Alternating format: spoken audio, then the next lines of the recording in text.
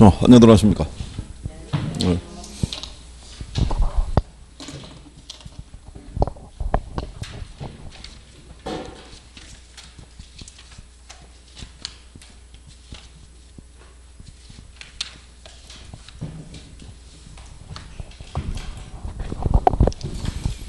자, 오늘은 앞에 처음부터 차례죠?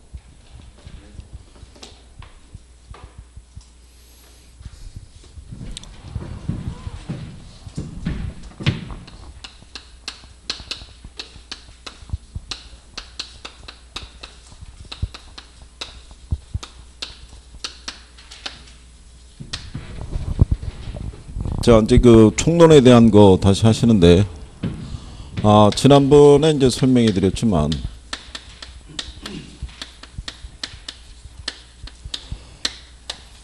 아, 이 개론이라는 게 이제 기초를 지칭을 하기 때문에, 아, 부동산에 관한 이제 여러분들은 기초 이론을 배운다고 생각하시면 되겠고, 그래서 요 기초에 대한 이제 여러 가지 용어가 있어요. 음, 용어를 잘 정리하시면 학개론에서는 점수를 따기가 쉽고요.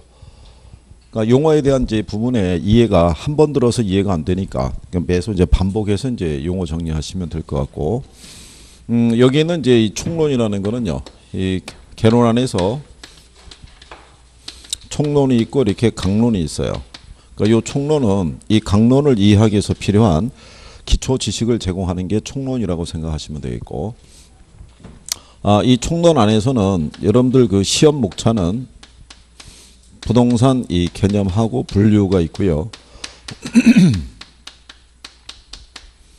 그 다음에 부동산 특성하고 속성. 어, 시험 목차는 이렇게 돼 있어요. 어, 그래서 일반적으로 이 부동산 특성은 80% 이상이 출제가 된다고 생각하시면 되고, 그러니까 10번 시험 보면 한 8번 이상. 그 다음에 이제 개념하고 분류하고, 음, 요렇게 이제 출제가 이제 된다고 보시면 되겠고. 그래서 총론에서는 평균적으로 한 세 문항 정도, 많이 나올 때 네 문항, 평균적으로 한 세 문항 정도 보시면 되겠고, A형을 만약에 푸시게 되면은 통상 1, 2, 3번이 얘네들로 구성이 되어 있다고 보시면 되고. 그죠? 네. 근데 이제 여기 총론에 들어가게 되면 부동산 개념이라고 있는데요. 음, 이 개념이라는 게 어, 이 부동산 학에 대한 것도 간략하게 언급을 해주고요. 그리고 이제 부동산 자체 개념. 근데 이 부동산학에 관련된 거는 자주 출제되지는 않은데요. 가끔씩 인용을 해줘요. 그러니까 기본적인 이제 성격이나 뭐 이런 것들은 이제 정리를 해두시는 게 필요하고요. 음, 그래서 우리 교재에는 언급이 안 돼 있는데, 아 이게 이제 부동산학의 기초를 했을 때요.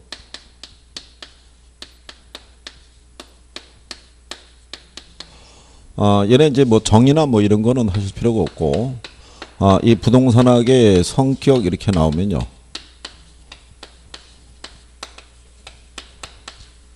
아, 이게 이제 응용과학이라는 성격이 있고요. 아, 얘가 이제 경험과학이라는 게 있고, 음, 그 다음에 이제 종합과학이라는 거, 그 다음에 뭐 규범과학이라는 거, 사회과학이라는 거. 요 중에서 요 응용과학하고 이 종합과학에 대한 거는 여러분 시험상에서 지문으로 인용한 적은 있어요. 우리가 학문을 나누면은 순수과학하고요. 응용과학으로 나눌 수 있을 때 요건 기초과학이라고 생각하시면 되겠고 그러니까 순수과학은 주변 학문의 기본적인 원리를 제공하는 게 순수과학이라고 보시면 되겠고 이 순수과학의 이 원리를 인용을 해서 음, 부동산학에 맞게끔 재구성을 했기 때문에 응용과학이라고 그래요. 그래서 부동산학은 순수과학이라면 틀려요. 무슨 과학이라고 봐야 된다? 응용과학이라고. 예를 들어서 이 일반적으로 가격의 결정은 수요와 공급에서 결정이 되잖아요. 그렇죠? 근데 일반재와의 가격 결정의 논리와 부동산의 가격 결정의 논리가 좀 틀려요. 부동산은 이 수요와 공급 과정에서 공급이 제한적이잖아요. 그러니까 일반적인 수요 공급의 원리를 그대로 적용할 수가 없어요. 그래서 이 부동산의 특성에 맞게끔 다시 재구성했다 이렇게 보시면 돼요. 그래서 응용과학의 성격을 갖고 있다 이제 그렇게 보시면 되겠고. 그 다음에 현실 생활을 바탕으로 하고 있다고 보시면 돼요. 그러니까 추상적인 거는 취급하지 않는다라는 거. 음, 그리고 부동산학은 여러 분야의 학문과 연계가 되어 있다는 점에서 음, 종합과학이라고 얘기를 해요. 뭐 요런 정도까지는 시험상에서 인용을 했으니까 이제 뭐 그런 정도 참고하시면 될 것 같고 어 그다음에 아 이 부동산학의 아 접근 방법에서 보시면요 시험상에서 혹시 쓸 수 있는 거는 종합식 접근 방법이라는 게 있고요. 요거는 이제 우리나라 학자가 만들어낸 거예요. 이거. 그러니까 이제 이 종합식이라고 얘기하는 것은요. 우리가 이제 부동산을 대상으로 이용이나 개발이나 어떤 이런 행위를 하려고 그러면 여러 분야의 학문적인 원리를 필요로 해요. 그죠? 음, 그러면 예를 들어서 법률적인 측면도 필요할 거고 경제적인 측면도 필요할 거고 기술적인 측면도 필요한데 일반적인 뭐 법학이라든가 예를 들어서 뭐 행정학이라든가 경제에서 뭐 경제 또는 경영이라든가 이런 것들이 있고요. 뭐 건축이 있고 토목이 있고 이런 분야가 있으면 요거를 이제 이 법률적인 측면으로 묶었다는 얘기고요. 경제에 관련된 여러 분야가 있으면 경제적 측면으로 이거를 이제 다 묶어서 기술적인 측면으로 이렇게 묶은 거를 복합 개념이라고 그래요. 그래서 법경기 세 가지가 나오면은 무슨 개념으로 아, 복합 개념으로 우리가 인식을 하는데 근데 여러분들이 보시면 법학이나 행정학이나 경제학이나 경영학이나 건축이나 토목학에 보면은 얘네가 다루는 주된 상품이 부동산이 아닌 거예요. 무슨 말인지 아시겠나요? 그러니까 부동산의 특성에 맞게끔 다시 재구성했다고 보시면 돼요. 우리가 만약에 음식을 먹을 때 어, 뭐 짬뽕이라는 음식 있잖아요. 그럼 거기에 여러 가지 재료가 들어가잖아요. 근데 걔가 그 재료로 들어가기 전에 원래 상태 있을 때는 짬뽕이랑 무관한 거야. 그렇죠? 그러니까 걔네를 갈고 다듬어서 어디에 맞게끔 부동산의 특성에 맞게끔 시스템화했다고 생각하시면 돼요. 그게 종합식 접근 방법의 논리라고 보시면 돼 있고 그래서 이제 얘가 법, 경기 세 가지에 무슨 사고에 복합 개념의 사고에 입각해서 이론을 전개한다 그러면 맞는 표현이라고 생각하시면 돼요. 그래서 여기까지는 시험 지문에서 이제 인용할 수 있을 거예요. 그래서 접근 방법에서 이제 그런 정도 보시면 되겠고 근래는 이 접근 방법에서 보면 법 제도적인 접근 방법에서 음, 의사결정 접근 방법의 논리로 어, 이렇게 이행하고 있다 해도 역시 맞다 이렇게 생각하시면 돼요. 옛날에는 정부가 주로 시장에 개입을 해서 행위를 부동산에 대한 행위를 통제함으로써 문제를 해결하려고 그랬다면 근래는 국경의 의미가 없잖아요. 그러니까 자국의 법과 제도만 가지고는 행위를 통제하기 어려우니까 시장에 참여하는 사람들이 합리적인 의사 결정을 내릴 수 있도록 시스템으로 이제 지원해 주는 이렇게 스타일이라고 보시면 돼요. 그래서 이렇게 구성이 되어 있다고 보시면 되겠고. 음, 그 다음에 그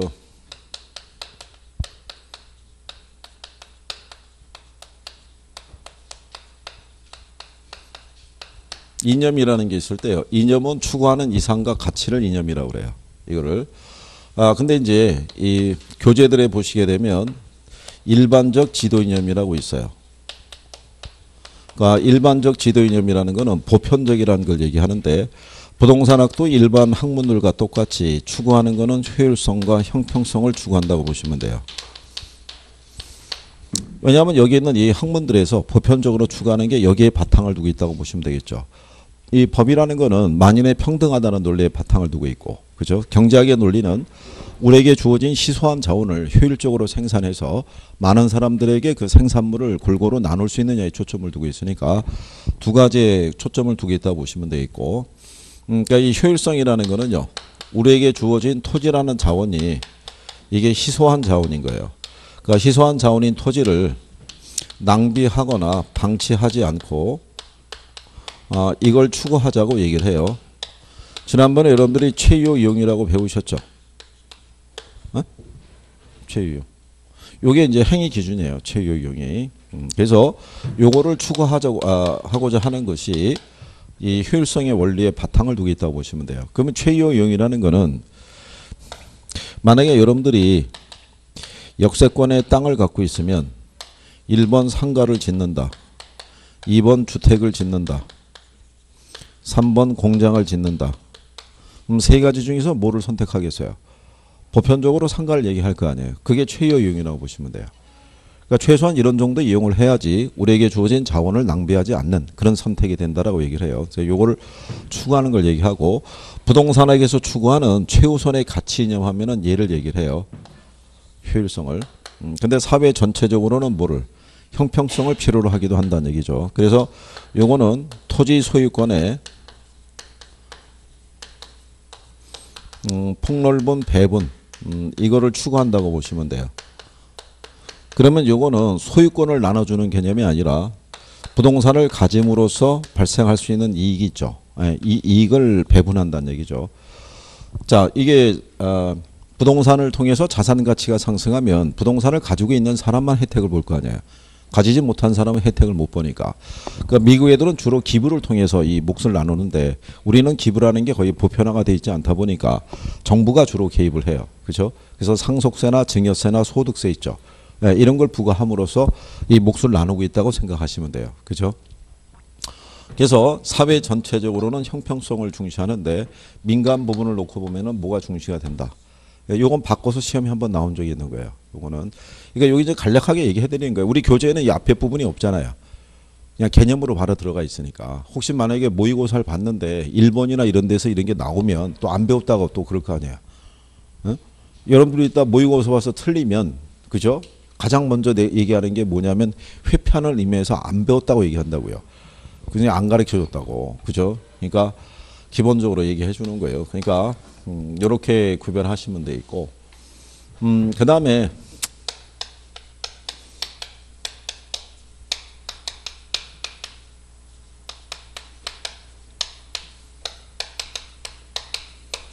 아, 부동산 활동의 속성이라는 게 있는데요.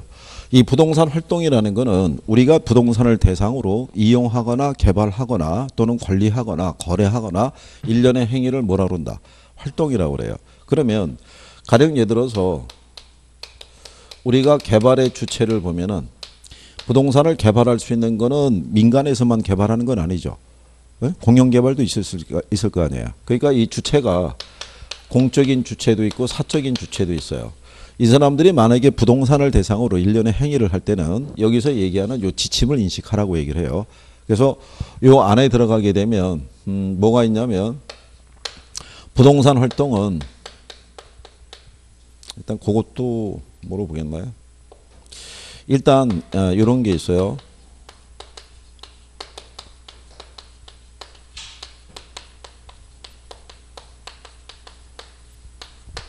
일단 이제 정부는 어, 부동산이 사회성과 공공성 있는 재화라고 인식을 해요. 그렇죠? 그러면 얘가 사회성과 공공성 있는 재화라고 인식한다는 얘기는 기본적으로 부동산은 환경성이라는 걸 갖고 있어요. 주택이 들어섰을 때 얘가 이 주택으로서의 기능을 다하기 위해서는 얘 자체 안에 있는 기능만 갖고는 안 되고요. 주변 이 환경이라는 게 주거의 기능에 적합하게 구성이 돼 있어야 되죠. 주택 인근에 공장이 들어서거나 또는 유흥업소가 들어서게 되면 주거의 기능을 다 할 수 없을 거 아니에요. 그죠? 그러니까 주택은 움직이지 못하잖아요. 그러니까 환경성에 영향을 받아요. 예, 그러다 보니까 정부는 사회성과 공공성을 앞세워서 개인 소유의 부동산이라 할지라도 통제를 가할 수 있다 없다. 자본주의 경제에서는 소유는 자유잖아요. 이걸 말릴 수는 없잖아요. 그죠? 근데 가지고 있다 그래서 모두 마음대로 하게 되면 이용을 마음대로 하게 되면 여러분들이 배우셨던 이 부의 위협과나 이런 문제 유발할 수 있어요, 없어요? 있으니까 이 이용에는 뭐를 가하겠어요? 통제를 가하는 거예요. 여러분들이 공법 배우죠. 예, 공법이라는 게 결국 행위 규제잖아요. 그렇죠? 그러니까 이걸 규제를 한다는 얘기는 부동산이 뭐가 있는 재화니까 사회성과 공공성 있는 재화니까 공공의 이익을 위해서 이용에 대해서는 뭐 하겠다는 거예요. 통제하겠다는 얘기죠. 그럼 이거 통제하는 과정에서 개인의 어떤 재산권을 침해할 수 있어요, 없어요? 어, 그러면 적절한 보상이 이루어져야 된다라고 얘기를 해요. 그죠? 또 개인의 입장에서는 사익을 추구하는 과정에서는 공공의 이익을 해치지 않는 범위 내에서 이용이 이루어져야 된다고 얘기를 해요.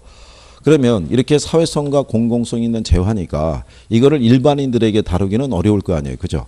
예, 그래서 뭐를 필요로 하냐면 이걸 필요로 해요. 전문성이라는 거를 여러분들이 감정평가 배웠죠? 예, 감정평가가 왜 필요한 거예요? 감정평가가 일반인들에서는 물건의 가치 추계가 어렵잖아요. 그죠? 예, 얘는 뭐가 있는 재화인데 사회성과 공공성이 재화인데 그러니까 전문가에 의한 평가가 필요하다는 얘기예요. 그죠? 그래서 우리가 중개는 누가 중개사가 평가는 누가 평가사가 그래서 이렇게 자격 제도를 도입을 하는 거예요. 그럼 우리는 이 사람들의 이 행위에 대해서는 신뢰를 할 수밖에 없겠죠. 그럴 거 아니에요. 우리가 저기 부동산 거래 계약을 하게 되면 수억이나 되는 돈을 갖다가 누구의 말만 믿고 거래하는 거예요. 중개업자 말만 믿고 거래하는 거예요. 이게 계약금하고 중도금하고요. 심지어는 잔금을 지급한 그 시점까지도 등기부상에는 변화가 없어요. 그죠? 잔금을 지급하고 난 다음에 중개업자가 얘기하죠. 한 2, 3일 뒤에 연락할 때니까 등본 찾아가라고. 그렇잖아요. 그러니까 이 사람들에게는 뭐를 요구하냐면 이걸 요구해요. 윤리성이라는 게 그때 그 윤리의 종류에서 가장 최근에 나온 게 뭐냐면 공중윤리라는 게 있어요. 공중윤리라는 건요. 우리가 부동산 거래하게 되면 매도자가 있고 매수자가 있고 그 다음에 중개업자가 있을 거 아니에요. 그죠? 그럼 공중윤리는 누가 윤리의식을 갖고 있어야 된다는 얘기겠어요. 예? 이거 다. 거래 활동에 참여하는 사람들은 다 윤리의식이 있어야 된다는 게 그게 무슨 윤리다? 공중윤리인 거예요. 그러니까 여기에서는 이 사람만 윤리의식을 갖고 있어야 된다면 틀리겠죠. 예, 그래서 그렇게 해서 한번 문제가 언급이 된 적이 있으니까 그 다음에 이제 부동산의 이제 활동에서는요. 대입 및 무슨 활동이라고 그러냐면 대물 활동이라고 얘기를 해요. 자, 부동산 시장에 가게 되면요. 대표적인 우리가 거래되는 상품이 토지가 있고 건물이 있겠죠. 그럼 시장에서 얘네 거래하면은 그쵸? 뭔가 움직일 거 아니에요, 그죠? 뭐가 움직이겠어요? 이거 얘네 움직일 수 있어요, 없어요? 없잖아요. 그럼 뭐가 움직이겠어요? 어? 뭐가? 권리가 이동할 거 아니에요, 권리가. 예? 사람이 이동하는 게 아니라 누가? 권리가 이전하는 거예요, 권리가. 어? 아니 사람이 저쪽으로 가봐야 무슨 소용이 있어요. 자기 권리가 이전도 안 돼 있는데 그렇잖아요. 그래서 권리의 주체가 사람이기 때문에 무슨 활동이다. 대인 활동인데 자, 근데 얘는 물리적 실체로서 움직이지 못하잖아요. 그래서 요 대물 활동의 연장선상에서 뭐를 필요한다 그러냐면 이걸 필요한다 그래요. 무슨 활동을? 임장 활동. 임장 활동 들어봤죠? 임장 활동이 뭐예요? 우리가 이사 가려고 그러면 집 보러 다니죠. 땅 보러 다니죠. 우리가 왜 보러 다녀야 돼요? 움직이지 못하니까. 예, 그 우리가 보러 다니는 거, 현장 확인하는 거를 임장 활동이라고 그래요. 그러니까 대물 활동의 연장선상에서 나오는 거예요.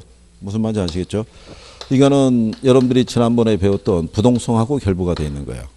무슨 말인지 아시겠죠? 그래서 그 활동에 대한 게 있고요. 그 다음에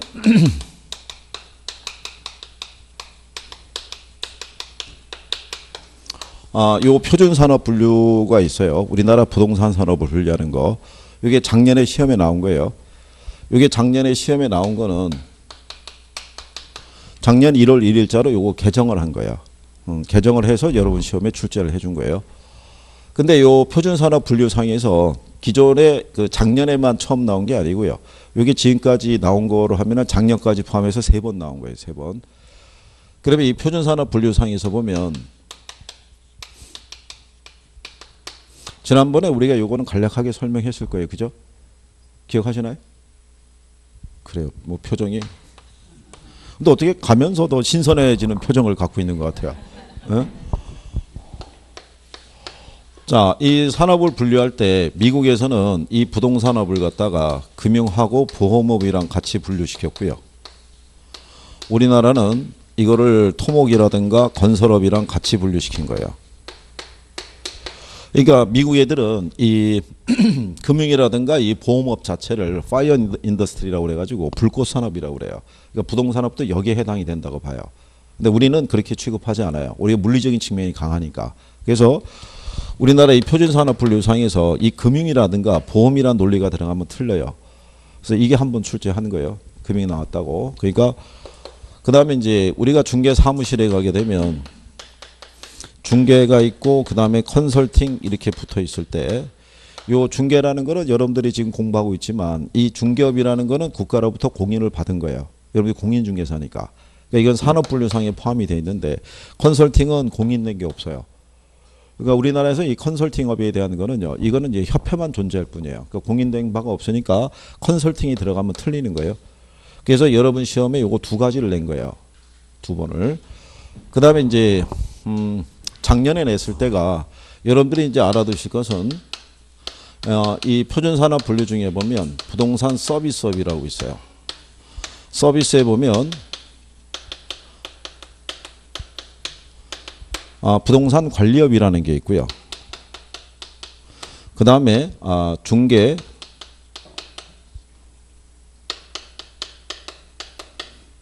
이렇게 있군요. 중개 자문 및 감정 평가업. 그러니까 서비스업이 이렇게 돼 있어요. 관리업, 중개, 자문 및 감정 평가업. 작년에 이게 개정이 될 때 이게 새로 들어온 거예요. 자문이라고. 근데 작년 여러분 시험에는 이걸 낸 거예요. 관리업을. 음, 관리업을 냈을 때 관리업이 두 가지로 나눠져요. 주거용이 있고 비주거용이 있어요. 이렇게. 요거 작년에 출제 줄때 출제자들이 맞추라고 준 거예요. 아파트 관리 있죠. 예, 아파트 관리는 주거용 관리겠어요? 비주거용 관리겠어요? 주거용일 거 아니에요. 그 지문에다 이렇게 준 거예요. 1번 주거용 관리 해놓고 여기는 뭐를 줬냐면 사무실 관리 3번 비주거용 관리 해놓고 4번을 아파트 관리 이렇게 준 거예요. 그러면 주거용이 얘고 비주거용이 얘일 거예요. 그 5번에 준 게 상업시설 뭐 이렇게 준 거니까. 그러니까 답이 5번이라고 암시해 준 거죠. 설, 야, 참마 이렇게 나란히 배열을 못 해주겠으니까 이거 크로스를 해준 다음에 5번을 답으로 줬을 거 아니에요. 그죠? 그러니까 작년에 여기서 나왔다고요. 여기서. 그래서 주거용 부동산의 관리의 대표적인 게 무슨 관리? 아파트. 그 다음에 비주거용 관리의 대표적인 게 무슨 관리? 사무실 관리. 그러니까 얘는 또 나올 일이 없죠. 하나씩 명시가 돼 있으니까. 그러니까 여기 있는 중개 잡무 및 감정 평가업이 있고 요걸 여기서 세분하게 되면 음, 중개 및 대리업이라고 돼 있고요. 그 다음에 투자 자문업이라고 있고 그 다음에 감정 평가업이라고 있어요. 이렇게 여기서 이 대리업이라는 게 새로 들어간 거예요. 투자 자문업하고 그러니까 요거 들어간 명칭만 좀 기억하시면 될 거예요. 이 정도 다섯 가지잖아요, 이거. 그럼 이렇게 또 쓸 수 있어요, 없어요? 또 활용하니까 얘네가 예전에 나올 때 보게 되면 연속으로 나오고 그 다음에 안 나온 거예요. 그러니까 어쨌든 요 서비스업 정도는 정리를 해달라는 거죠. 종류가 이렇게 돼 있으니까 작년엔 여기서 나왔단 말이에요. 근데 이 작년에 개정을 시킨 거는 여기를 개정을 시킨 거라고요. 근데 여기가 안 나오고 여기가 나왔으니까 한 번 더 낼 소지가 있을 거 아니에요. 그죠? 예, 그러니까 그 정도까지 이제 정리하시고 예, 우리는 이제 이 페이지를 해보는 거죠.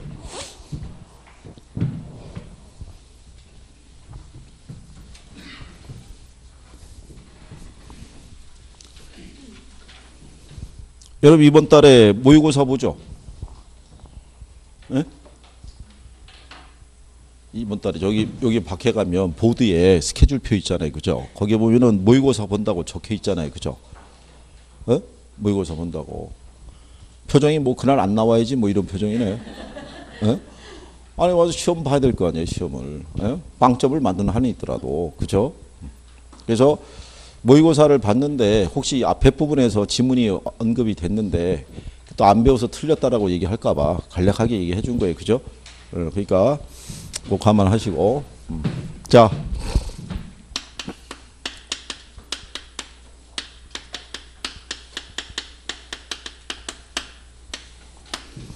아, 부동산 이제 개념이라고 거기 보면 이 페이지에 가면 이제 그 부동산 개념이라고 나와 있죠. 그렇죠? 자, 그 거기 보면 법 제도적인 개념이라는 게 있고요. 한 페이지 넘기시면 5페이지에 가시면 경제적 개념이라는 것도 있고 그 밑에 가면 기술적 개념 뭐 이렇게 돼 있죠. 그렇죠? 그리고 한 페이지 더 넘기시면 6페이지에 어, 사전에 가면은 복합 개념의 부동산 이렇게 돼 있죠. 예, 아까 우리가 복합 개념이라고 얘기하면은 법과 경제와 기술에 대한 세 가지 측면을 얘기를 했어요. 그죠? 예, 그래서 이 복합 개념의 사고에 입각해서 이 개념을 다시 분류를 시킬 때 세 가지를 얘기를 해요. 아, 이거를 기술적 또는 물리적 개념, 음, 그 다음에 경제적 개념, 그 다음에 법률적 개념. 그래서 요 세 가지로 이렇게 구분을 해요. 그래서 기술적 개념에 우리가 지난번에 이거 몇 가지 있다고 그랬어요. 기술적 개념의 종류 몇 가지. 어? 아 그때 우리가 알려줬잖아요. 학개론에서는 일단 몇 가지가 제일 많다고 그랬어요. 네 가지가 제일 많다고요. 네 가지가. 그러니까 선생님 일단 몇 가지냐고 물어보면 일단 네 가지를 불러보는 거예요. 그러면 한 80%는 맞는 거예요. 80%는 그죠? 근데 네 가지를 불렀는데 선생님이 버팅기고 있으면 하나 더 붙여서 다섯 가지 그러면 한 95%가 맞는 거예요. 이거 몇 가지 있다는 거예요. 네 가지 있다고요. 네 가지.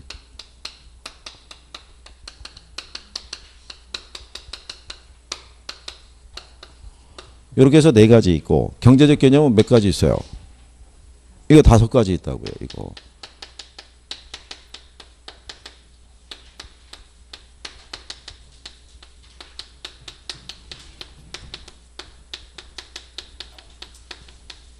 이렇게 다섯 가지가 있고요. 법률적인 개념에서는 협의, 협의라는 거는 다른 말로 바꿔 쓰면 좁은 의미라고 할 수 있죠.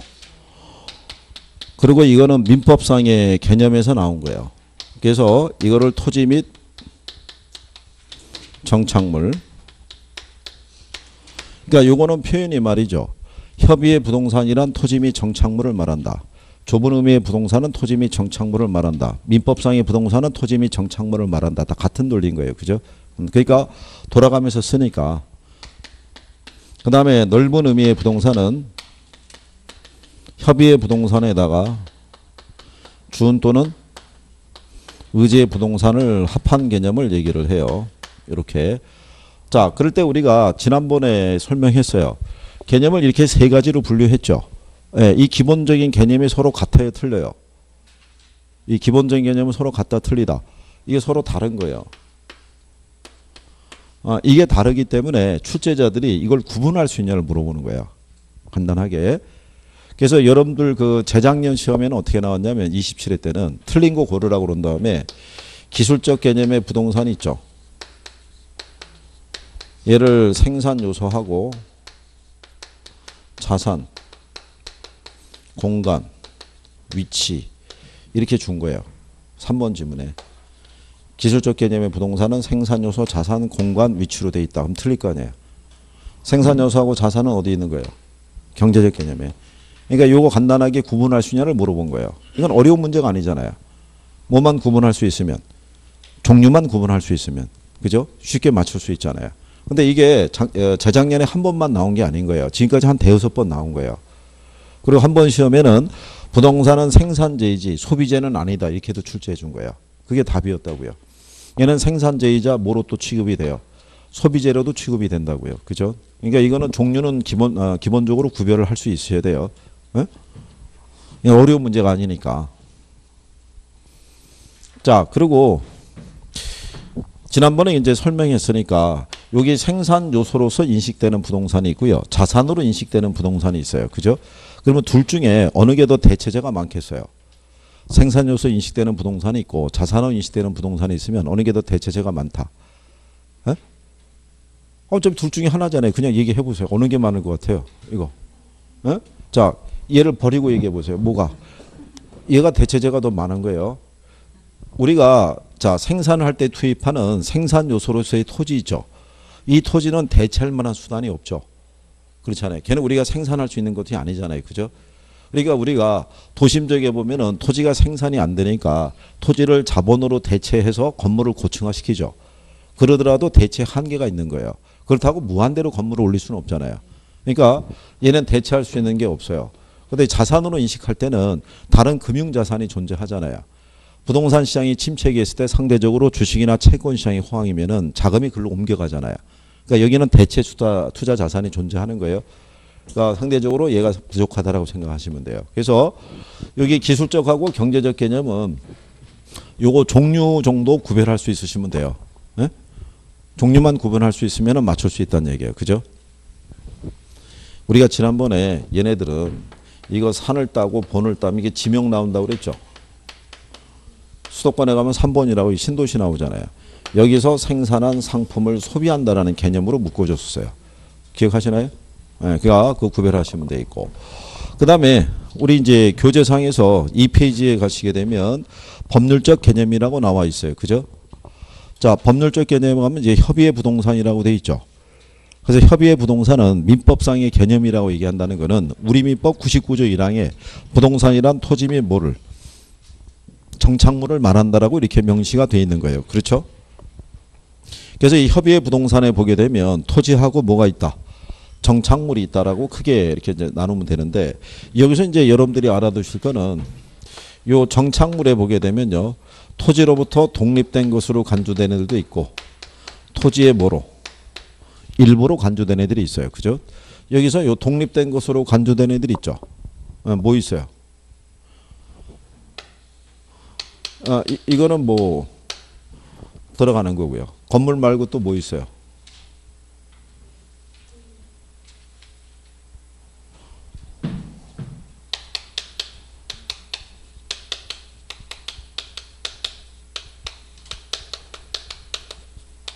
이게 소유권 보존 등기된 임목이라든가 그죠? 명인 방법을 갖춘 수목의 집단이 있죠. 네? 이런 거. 그 다음에 권원에 의해서 타인의 토지에 재배되고 있는 농작물 있죠. 여러분들이 민법에서 배웠죠. 잠자고 있는 권원은 보호받지 못한다는 논리죠. 땅을 방치하고 있을 때 누군가가 가가지고 씨를 뿌리고 작물을 경작해서 수확물이 발생했으면은 그건 경작적 거란 얘기죠. 토지 소유자께 아니라. 그러니까 별도의 무슨 물건으로 보는 거예요. 독립된 물건으로. 예? 이게 여러분 시험에 나온 거예요. 그러면 이거를 활용을 해줄 거 아니에요. 냈으면. 예?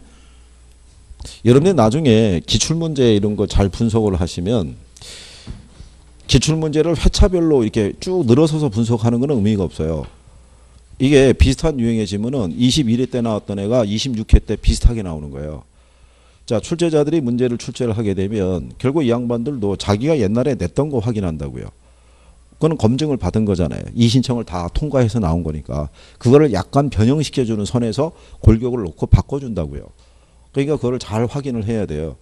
그러니까 25, 26, 27에 이런 식으로 분석하는 건 별 의미가 없는 거예요. 비슷한 거 묶어보게 되면은 비슷한 지문을 많이 찾을 수가 있어요. 그러면 자주 쓰는 표현은 자주 나온다는 얘기예요.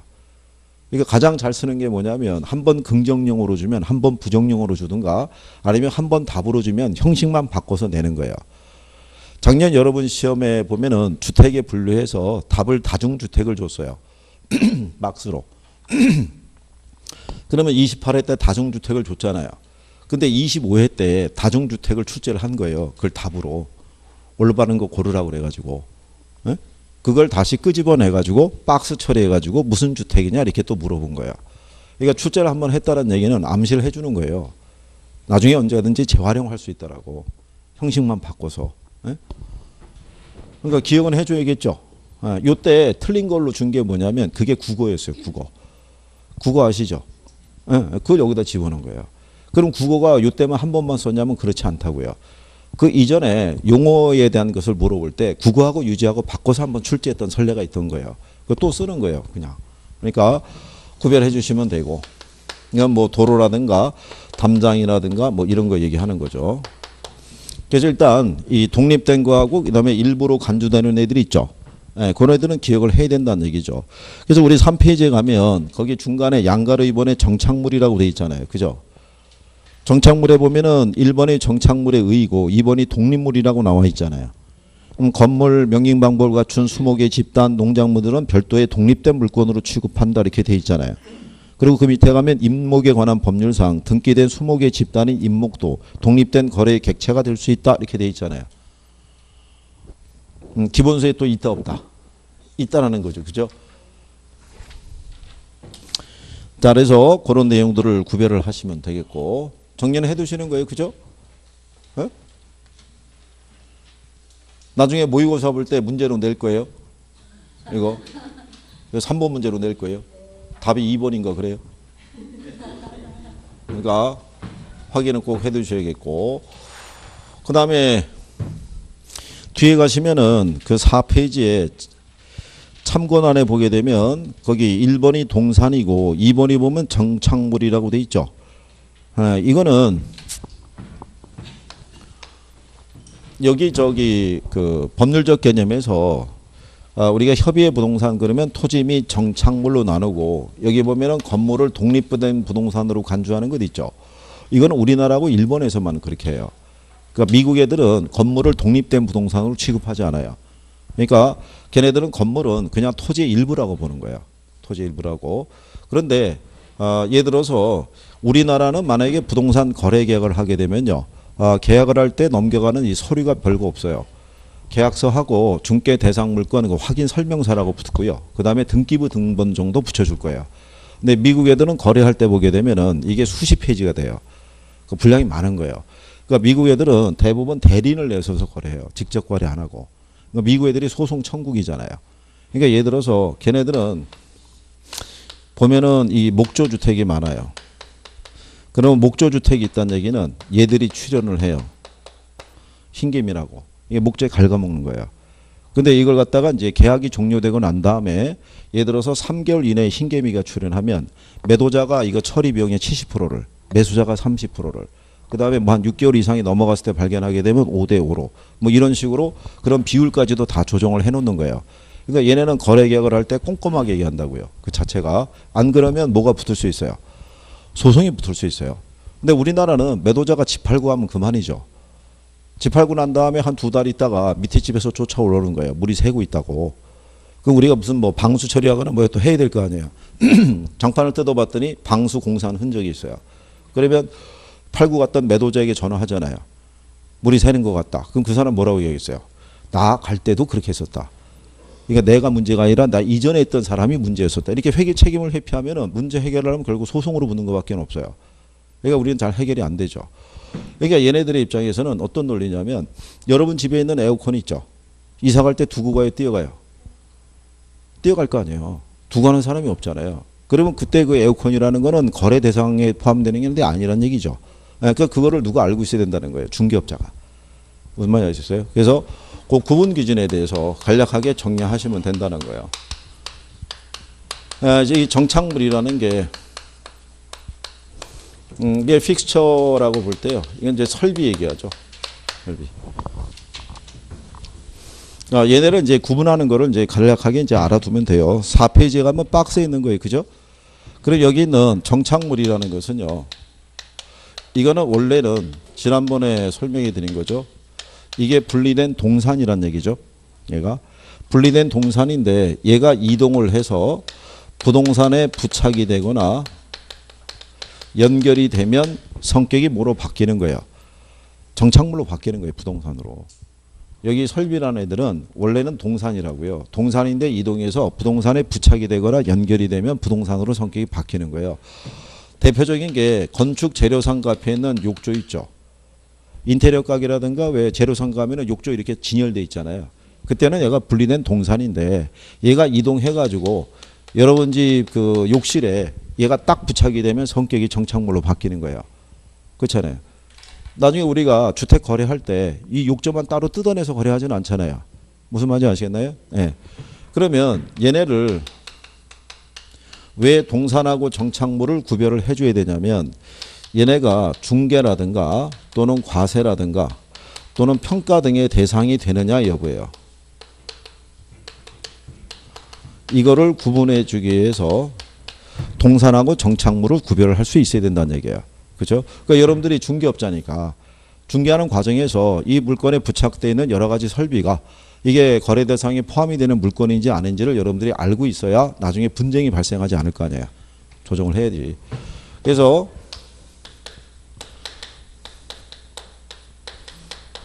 아, 얘들을 이제 구분하는 기준이 거기 밑에 가면은 3번에 나와 있죠. 정착물의 구분 기준이라고. 예. 그래서 첫 번째 보면 물건이 부착되어 있는 방법이 있죠. 얘가 부착이 돼 있는데 얘를 뭐 하는 과정에서 제거하는 과정에서 물리적 손상을 주면 정착물로 보는 거예요.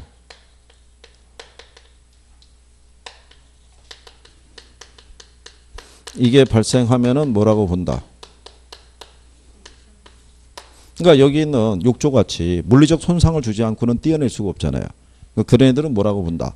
정착물로. 물리적 손상은 발생하지 않더라도 기능적인 부분에서 손상이 발생해도 역시 뭐라고 봐요. 아, 이것도 정착물로 보는 거예요. 그죠? 뭐 인터폰이라든가 수도꼭지나 이런 거 다 해당이 되는 거예요. 그 다음에 두 번째가 뭐냐면 물건의 성격이에요. 얘가 이동이 가능해요.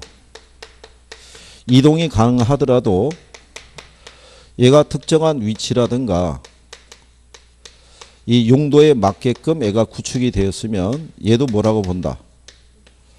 우리가 왜 영화관에 가게 되면 관람용 의자 있죠. 접이식 의자. 걔들도 옆에 나사 돌리면 다 빠져요. 근데 걔는 관람용으로만 제작이 된 거예요. 그렇죠?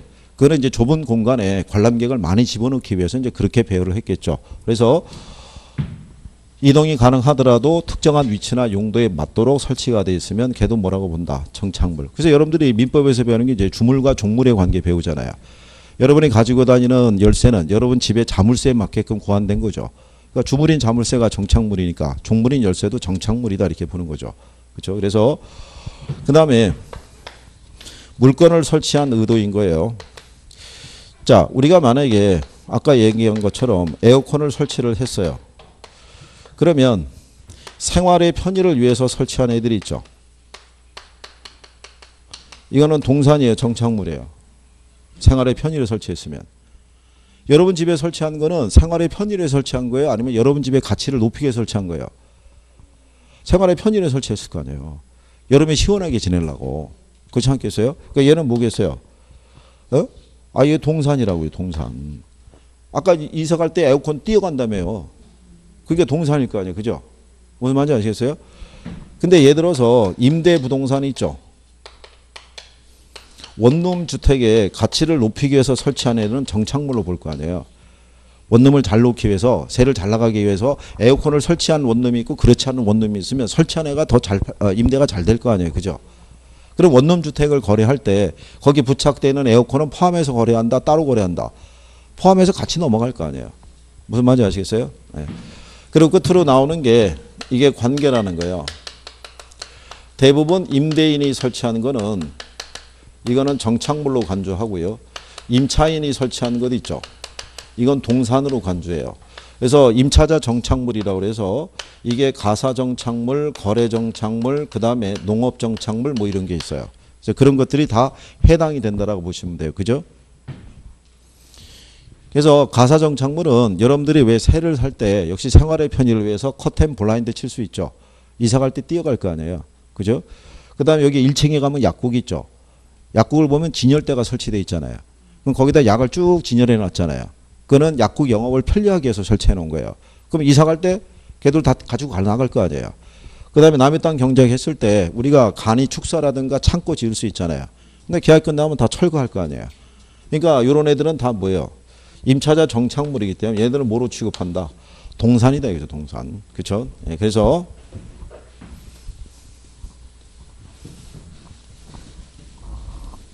그 정도 이제 구별하시면 되고 어, 그 다음에 이제 옆 페이지에 5 페이지에 가시면 자 광해 부동산이라고 돼 있죠. 그렇죠? 그러면 여기 보시면 광해 부동산이라고 있잖아요. 그죠? 네, 그럼 여기는 협의의 부동산에다가 준 또는 무슨 부동산? 의제 부동산을 합한 거예요. 그죠? 그럼 여기 준이라는 표현이 들어갔다는 얘기는 얘는 요 뒤에 있는 애가 아니란 얘기예요. 부동산은 아닌데 거기에 준해서 취급하는 거예요. 그러니까 특수한 동산들인 거예요. 그죠? 근데 얘네들은 개별법에 의해서 별도의 등기라든가 등록에 대한 공시수단을 갖추고 있죠. 그렇죠? 그럼 얘네들이 왜 별도의 등기 등록의 공시수단을 갖추게 해주는 거예요? 이 안에 종류에 보면 공장재단이 있고 광업재단 이런 애들이 있죠. 걔들은 왜 재단을 구성을 하는 거예요? 얘들이. 얘들이 담보물로서의 가치를 부여하는 거예요. 무슨 말인지 아시겠나요? 얘를 빼놓고 나면 실상 부동산에서 담보물로서의 가치를 갖고 있는 애들이 별거 없잖아요. 그죠? 그러니까 얘네들이 담보물로서의 가치를 갖게 된다는 얘기는 여기 나와 있는 자동차라든가 그 다음에 건설기계라든가 항공기라든가 20톤 이상의 선박이라든가 그죠? 이런 애들이 다 무슨 대상이 돼요? 감정 평가의 대상이 된다는 얘기는 얘들이 담보물로서의 가치를 갖고 있기 때문에 평가의 대상이 되잖아요. 그렇죠? 그러니까 여러분 시험에 이거 낸다 안 낸다? 내잖아요, 이거. 에? 우리가 지난주에 했었잖아요. 여기 여기 보면 얘네가 이제 준부동산이 들어가는데 요 중에서 하나만 평가 방법이 틀리다고 그랬었죠. 뭐만 틀리다고 그랬어요. 자동차만 건설 기계가 포크레인 뭐 이런 거 얘기하는데 우리가 일반적인 포크레인 거래 잘 안 하잖아요. 항공기 우리가 일반적인 거래 어렵잖아요. 선박도 마찬가지고. 그러니까 얘네는 일반적인 거래 사례를 구할 수가 없어요. 그러니까 얘네는 원가법으로 구하게 돼 있고 자동차는 일반적인 거래가 잘 이루어지잖아요. 중고 시장도 제일 발달돼 있으니까 얘는 사례가 풍부하다고요. 그러니까 얘만 거래 사례비법 구하는 거예요. 그죠? 근데 작년 시험에 나온 게 이거 나온 거 아니에요. 이거 거래 사례비법으로 구한다고. 그러면 그것도 출제자는 맞추라고 준 걸 거 아니에요. 이거 알면은 바로 찍으라고. 답도 1번으로 줬는데. 그렇지 않겠어요? 근데 또 그거를 거부하고 제가 볼 때 틀린 분들은 또 저작권으로 갔을 거예요. 수익 환원법 그래가지고 못 봤다 이거죠. 그러니까 이건 본인들이 못 느끼면 그러니까 그러면 그리고 우리가 지난번에 했었죠. 이거 공장재단 있죠. 이거 무슨 법으로 평가한다 그랬어요. 이거 광업재단은 뭐로 한다고 그랬어요. 이거 영어권 뭐로 한다고 그랬어요. 기타 무형자산 있잖아요. 우리 지난번에 이렇게 해줬잖아요, 이거.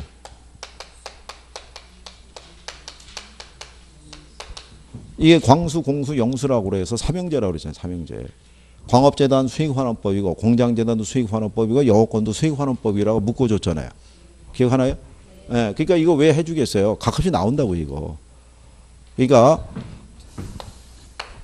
그럼 이제 여기서 얘기했으니까 나중에 우리가 뒤에 가면 또 하겠죠, 그죠? 간평에 가면 자 그래서 그 내용 정도 여러분들이 정리하신 거고 거기 6페이지에 가면 하단에 예제 하나 있죠. 부동산 개념이라고 있죠. 거기 보면 1번에 복합 개념의 부동산이라고 있죠. 예, 부동산을 법률과 경제와 기술적 측면 이렇게 나오죠. 법경기라는 표현이 들어가 있을 때 그 복합 개념의 논리를 얘기를 하고요. 2번에 가면 민법상 부동산은 토지 및 정착물을 말한다고 돼 있죠. 이 이전에 나왔던 문제에서는요. 2번을 갖다 뭐라고 그랬냐면 좁은 의미의 부동산은 토지 및 정착물을 말한다 이렇게 쓴 거예요. 그거를 그리고 3번 지문에 가면 기술적 개념의 부동산은 생산 요소, 자산, 공간, 자연을 말한다고 돼 있잖아요. 그러니까 우리가 아까 기술적 개념에 하게 되면 네 가지 있다고 그랬잖아요. 공간, 자연, 환경, 위치였잖아요. 그죠? 그러니까 생산 요소하고 여기 들어가 있는 자산이 들어가면 틀리잖아요. 생산 요소하고 자산은 경제적 개념이잖아요. 그러니까 요거는 뭐만 알면 답을 맞출 수 있게끔 해준 거예요. 제목을 알면 분류만 할 수 있으면 자, 그리고 이제 그 밑에 가면 준부동산은 등기, 등록의 공시 방법을 갖춤으로써 부동산의 준에서 취급되는 특정의 동산 등을 말한다 이렇게 돼 있죠. 예, 그러니까 얘네들이 이게 특수한 동산이라고요. 그죠? 근데 이제 5번 지문에 가면 토지와 건물이 각각 독립된 거래의 객체이면서도 마치 하나의 결합된 상태로 다뤄져서 부동산 활동의 대상으로 인식할 때 걔를 무슨 부동산이라고 그래요? 복합 부동산이라고 얘기하죠. 그죠? 자, 여기 보면 토지 있고 건물이 있어요. 그죠? 자, 우리가 토지 이, 이 토지 가치를 평가할 때는 무슨 법 써요? 토지 가치 평가할 때. 응? 토지 가치 평가할 때. 이거 공시가 기준법 써요. 근데 이번에 규칙이 개정이 돼서 신뢰할 수 있는 적정한 실거래가가 있으면 거래사례 비법부터 쓸 수 있다 이렇게 해줬어요. 그죠? 거기까지 기억하시나요? 그럼 건물은 뭐로 구해요? 아 건물은 원가법으로 구하잖아요. 아 이거 알려줬잖아요. 이거. 어?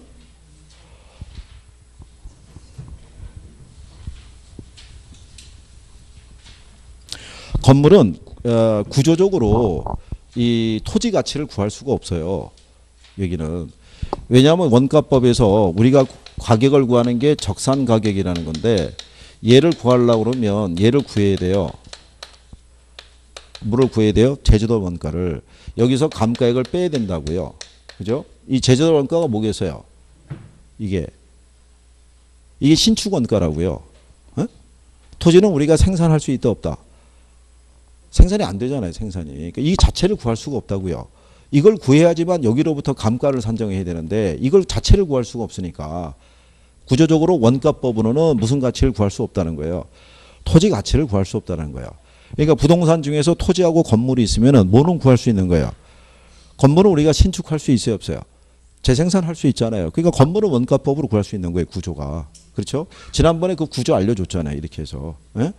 그런데 얘네 둘을 일괄해서 거래하죠. 그러면은 무슨 법으로 평가한다 그랬어요? 일괄해서 할 때.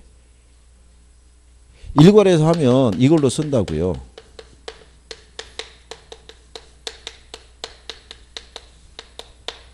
그렇죠?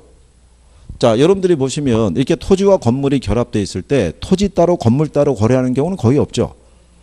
일단 물건은 별개의 물건으로 취급은 해요. 그죠? 별도의 등기 다 하잖아요. 근데 우리는 따로따로 거래하는 경우를 거의 본 적이 없어요. 그죠?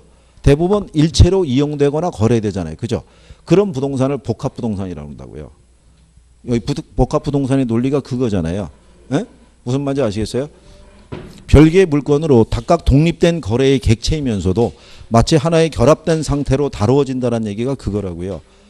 별도의 등기는 하지만 거래할 때. 그래서 일괄해서 할 때는 다 이거 쓴다고요. 거래사례 비법을. 그래서 자, 그래서 그런 내용 정도 보시고 9페이지에 가시면 거기 문제 2번이 있죠. 다음 토지와 정착물 중에서 토지와 독립된 것이 아닌 거 물어봤죠. 이거 거기 답이 3번의 국어잖아요. 국어. 국어 도랑이니까. 예? 그리고 뒤에 넘어가시면 3번 문제 있죠. 자, 부동산 개념은 물리적, 경제적, 사회적, 법, 제도적 개념으로 나눌 수 있을 때 경제적 개념과 거리가 먼 걸 물어봤잖아요. 이게 답이 4번의 공장재단일 거 아니에요. 그렇죠. 그러고 난 다음에 4번에 보면 경제적 개념에 해당하지 않는 걸 물어봤죠. 그럼 답이 4번의 환경일 거 아니에요. 그러니까 이거는 뭐만 알면 푸는 거예요. 제목만 알면 푸는 거예요. 제목만. 어려운 걸 물어보는 게 아니거든요. 누누이 말씀드리지만 학계로는 40분에 40문제를 풀어야 돼요. 그러니까 보면 답이 보이는 문제들을 배열을 해줘야 돼요. 그래야지 시간 이게 안배를 하면서 시간 내에 풀 수 있다고요. 그죠? 자, 그래서 그 개념에 대해서 정리를 해보신 거예요. 음, 그 다음에 11페이지에 가면 부동산 분류가 돼 있어요. 그죠? 네. 부동산 분류해 보게 되면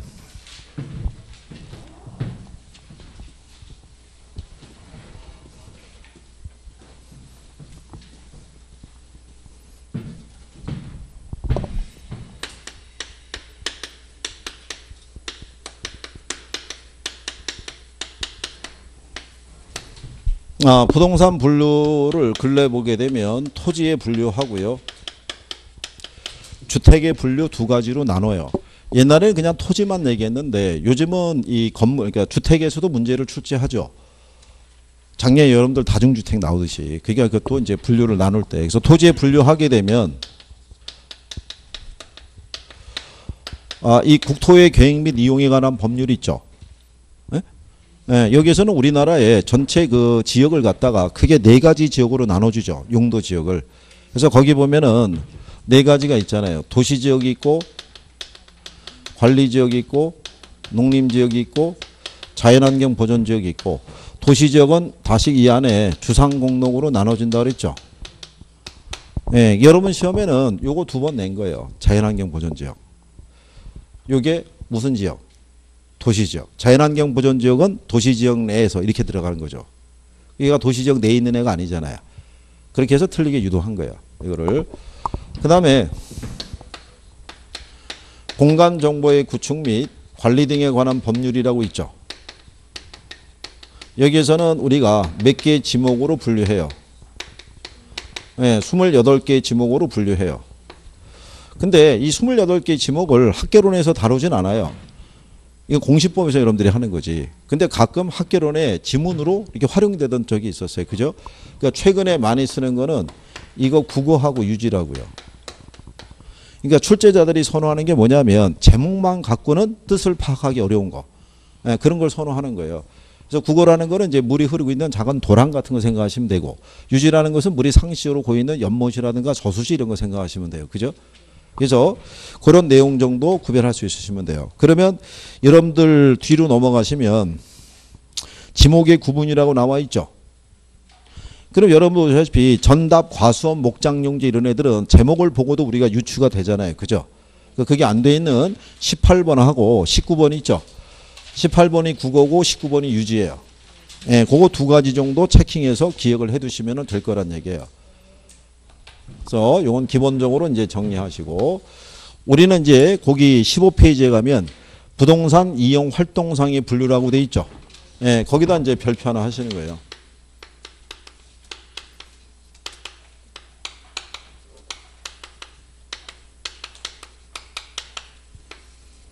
자, 여기 해야 되는데 표정이 쉬었다 자는 표정이셔 가지고 잠깐 쉬었다가 여기서부터 하시죠.